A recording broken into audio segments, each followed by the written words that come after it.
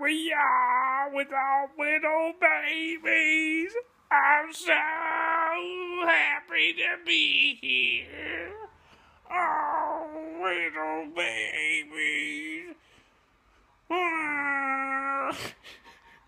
Here's another baby.